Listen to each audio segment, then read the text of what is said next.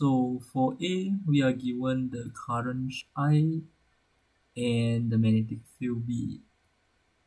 Now we are asked to find out the force per meter of the length and this uh, B and I is perpendicular that means if we have a let's say current I like this and we have a magnetic field like this and they are perpendicular to each other.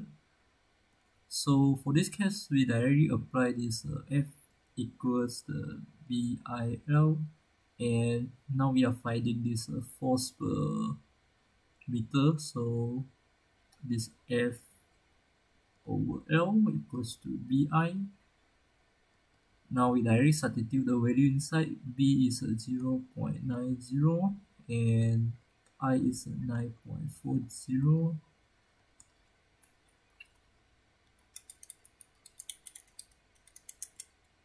we get uh, 8.46 Newton per meter. Now case B, uh, what if the angle between the wire and the field is uh, 35.0 degrees? So in this case, let's say we have uh, currents I which the wire. Mm, and we have the magnetic field uh, B like this. And the angle here is given by 3 5 35.0 degrees.